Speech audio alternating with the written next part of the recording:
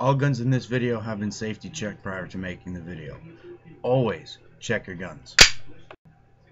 Hey guys, this is the Common Man's Armory, and I just wanted to take a, a, quick minute to make a video response to another video response about um, just a few things. It was actually, the original video was James Yeager's video on why 1911 suck. Now, I don't necessarily think that 1911 suck, but uh, there are some things that are that definitely need to be said about why uh, the newer style of pistol is is more commonly used compared to the 1911. Now there are companies like uh, um, Armscor, which makes uh, the Rock Island Armory 1911s, uh, which are now they are starting to get into affordable 1911s, and another company called uh, High Standard. That's another one that makes affordable 1911s. Um, but other than that, as far as the rest of the 1911s, uh, they're really not all that feasible if you're looking for a, a carry pistol. Now, there are some guys that feel differently than I do, but I'm just stating simple fact, and I'm stating uh, I'm I'm stating what I found. Now, um, right now I own a Glock 30, which is right here. It, this is my everyday carry pistol. Uh, it's a great gun. It's been it served me well. It is chambered in 45 ACP. Uh, it comes with a 10 round magazine. And the cool thing that I like about this is this is the magazine from the Glock 21, which is a 13 round magazine, which all I have to do is do that. I have the spacer for right here to actually make it fit, but um, other than that, I, I do have the spacer for right here, but I don't have it in here. But I just wanted to, you know, that's the one thing I really do like about this gun is because of the fact I can interchange magazines. And a lot of weapons manufacturers are doing that now, uh, like the the Ruger, the SR9, and the SR40. Uh, you can run full size mags in the compact, and they have little spacers and all that stuff. Just awesome way to go. Uh, I definitely think uh, more firearms manufacturers need to start going with modular uh, magazines or modular pistols that you can use other parts in you can use full size parts in the subcompacts and in the compacts because uh, it just makes it just makes it makes selling your guns easier and it makes selling your parts easier because now uh, uh, I intend on eventually buying something along the lines of a of a subcompact 9 millimeter to carry every day because this is just a little too wide and when we go out to certain places um, when we go out certain places it's a little too hard to conceal this because it is it is a wider gun and I want something that's going to be a little bit easier to conceal. But other than that, back to the 1911 suck thing. Uh, I'm just gonna go over some talking points. Now, number one, the Glock. I'm going to be comparing full size uh, 45 ACP firearms. Uh, from I have uh, the easiest way I can do this is I have two. I have uh, one I have the Rock Island Armory 1911. I have the SR45. I have the XD45, and I have the M&P 45. Those are kind of the benchmarks as far as I didn't get into the Glock 21 because everybody's gonna be oh, you're a Glock guy, whatever. Uh, this is just this is just going over the the more modern style pistol, and then I have the uh, just a standard full size 1911 that is in the price range. Now I could have went way above and beyond that and went out to the Kimbers and all that stuff, but these are all in the same price range as each other. So that's what I'm basing it on. If you want me to get into all that other stuff, leave me a comment and I will. But this is just what I found. Now, the I'm going to get to the 1911 first. The Rock Island Armory is a full size. You can get it in the full size 45 ACP. Number one thing about guns is weight.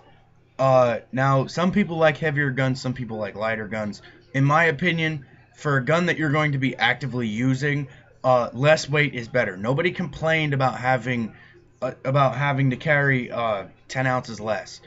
It, it's just that's what it is. And with 45 ACP, um, when you load up, now that though all the weights that I list that I'm going to be saying is unloaded. Uh, now when you load up with 45 ACP, a lot of these other guns are going to be a lot of these other guns are going to be a little bit heavier when you load them up because they carry more rounds. But the Rock Island Armory is 39.52 ounces. Uh, it's 8 plus 1. It has a 5 inch barrel. And this is just for the blued, uh, no special frills or nothing like that. And its MSRP is at 523.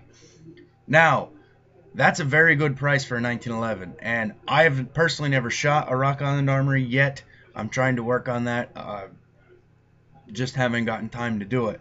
Uh, the number one thing is, is that's a great price. Now, like I said before, if you want me to get into more expensive 1911s, comparing them to the Glocks and the and the the M&Ps and the XDs and the the Rugers, uh, I can do that, but you just got to leave me a comment and I'll get this. But this is just what I found, and this was a quick search. But uh, the next one that I want to get into is the SR45, the Ruger SR45. That is a full-size. Uh, uh, that I think that has a four-inch barrel. Uh, that weighs unloaded uh, 30.15 ounces. Now that's a 10 plus one, and the retail, the MSRP is five 529. So, uh, it's that's that's a good price, and that's an, another full size striker fire pistol. It's it's a good price. Uh, it, for me personally, for a full size, that's that's. I mean, you could you could eat very easily get three more rounds in those magazines. But one thing I do like about Ruger is Ruger keeps their their their grip width down, and it keeps their slide width down. Uh, it makes them a lot a lot more versatile versatile as far as uh, people like different people shooting it. Uh, the XD45, uh, that's a, a four inch barrel gun that is a 13 plus one, very similar to the Glock 21, uh, and it weighs 30 ounces.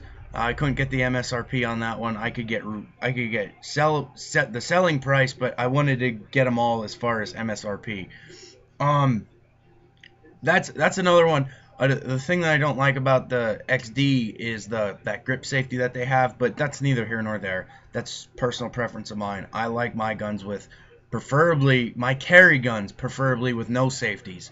Uh, it's just one more thing that you got to worry about if you have to use it to defend yourself. So, uh, as long as you're not a dumbass and you keep your finger off the trigger like you should, you'll ne- you'll never have a problem. Accidental discharge in today's firearms is only due to the person that's holding the gun. If you accidentally discharge one of your firearms into yourself or into somebody else, it was your fault. Because I know my Glock, I've had my Glock loaded with one in the chamber and I've purposely thrown it. Now I know that's not exactly the smart thing, but it does happen. It gets it gets dropped. Uh, they get dropped on the ground. They get you know they get kicked. They get whatever. Uh, with Glock, it's with Glock and a lot of the other of today's pistols, uh, they are more safe than they've ever been as far as firing pin blocks when you're not going to shoot them and all that stuff. So as far as as far as I'm concerned, today's pistols are safe enough to do that stuff. Now, the last one I want to get into is the Smith & Wesson M&P 45. Now, I didn't really know a whole lot about the M&P 45 uh, because as far as I'm concerned, I don't particularly own Smith Wessons. Uh, I've used the the Sigma, which is now the SDVE. I've used that one particularly, but and that one has like a 15 and a half pound trigger pull. It's ridiculous. But um, the the Smith Wesson M&P 45 has a 4 inch barrel. Uh, it has a 10 plus 1 magazine. It's 27.7 ounces, which is the lightest out of all the ones that I listed. Which it's only three. It's only what 2.3 ounces or something like that. But 2.3 ounces is still, it's still a number, and it's still lighter. Uh, they have two different models. They have one with a thumb safety, and then they have one with without a thumb safety. Now, the one without a thumb safety will run you 5.99 MSRP, and the one with a thumb safety will run you uh, 6.19. So it's now those are like I said before, those are all MSRP prices. But uh, that gives you options as far as that goes. I didn't really get into the options for the XD. I know you can trick them out pretty good. I know you can personalize them pretty good. Uh, the SR45, I'm pretty sure that that's kind of like a no frills kind of a thing. I'm not really sure. Uh, after sights, I don't really know if you can get uh, rails and all that stuff for them. Uh, the Rock Island Armory, uh, obviously it's a 1911. You can put you could put a bunch of shit on them uh, as far as grips, uh, all the levers, you know, the safety levers and all that stuff. You can take you can do a lot with them. Um, but these are just the facts. Now, I'm gonna make another video on some of the other things that I have, but you know, please stay tuned. Go to that other video. Uh, probably have it, probably put put it annotate it somewhere or put a link to it underneath.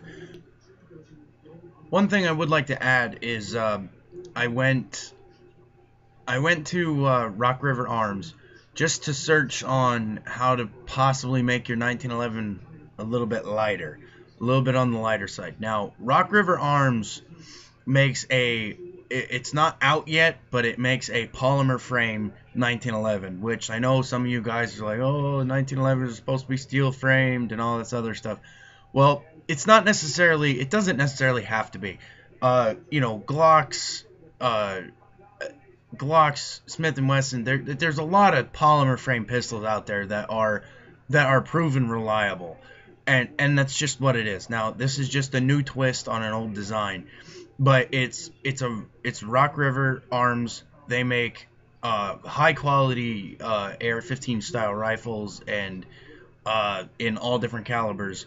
Um, I would definitely go check them out, but they do make a polymer framed 1911, which I'm sure if you matched it up with, I'm sure they already put high, super high quality parts. The big thing about it is the price range. It is I they they have listed that it's uh 30 what 32 and a half ounces or something like that. It's like 32 and a half ounces, which is just if which is just a tick over uh, what I said the Ruger SR9 is, or Ruger SR45 rather. Um, just a little bit heavier, but it's the price point. Uh, as far as 1911 goes, anybody who knows a 1911 knows that they're expensive as all hell. Uh, besides the Rock Island Armory, um, you can get them anywhere between, you know, like I said, uh, the MSRP on a Rock Island Armory is 523, and you can get them all the way up to 35, four thousand dollars, 3,500, four thousand dollars. So it's it's, I mean, you're gonna spend a lot. The big thing about that Rock River Arms is their price point that I seen on some of the forums was going to be right around 800 bucks, which is actually a really good price and Rock River Arms makes super, super high quality stuff. Uh, please subscribe for more gun reviews, how to's, and shit that goes boom.